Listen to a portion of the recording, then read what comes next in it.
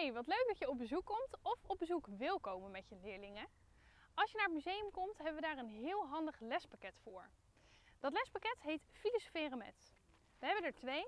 Filosoferen met schilderijen voor binnen en filosoferen met beelden voor buiten. Ik leg je er graag meer over uit, want filosoferen dat klinkt misschien een beetje zwaar, maar eigenlijk betekent het gewoon dat je met de leerlingen het gesprek aangaat en samen gaat ontdekken welke verhalen er achter alle kunstwerken zitten. Kom met me mee, dan laat ik het je binnen even zien.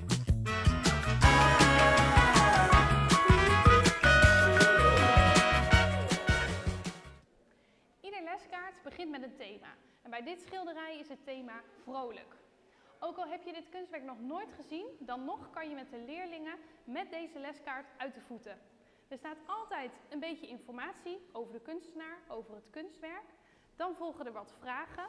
Eerst een beetje om te onderzoeken en daarna om te filosoferen. En dat betekent eigenlijk gewoon doordenken en doorvragen.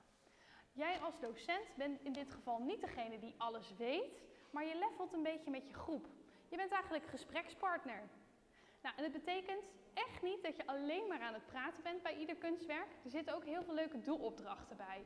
Een voorbeeld van zo'n werkblad is, uh, nou maak het verhaal wat je op het schilderij ziet af in een stripverhaal. Die werkbladen die vind je ook in het lespakket en die zitten een beetje achterin. Het fijne is dat je deze ook online kan vinden. Dus je kan dit ook gewoon downloaden op de website. Nog even alles op een rijtje. 1. Vraag een schoolcode aan. Dit kan je doen via info.krullenmule.nl, maar misschien heb je dit al gedaan. 2. Reserveer je museumbezoek. Dit kan gemakkelijk via onze website en kan je direct zien of dat er plek is. 3. Download de leskaarten. Die kan je dus vinden op onze website. En 4. Verdeel de leerlingen in groepjes. 7 à 8, dat is ons advies. En regel begeleiding en vrijwilligers.